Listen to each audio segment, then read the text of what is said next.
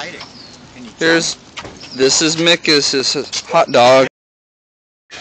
As I almost hit the pole, but Mick, Mick, Ooh, Mick.